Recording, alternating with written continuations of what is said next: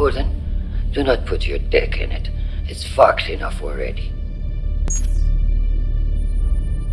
It's good advice.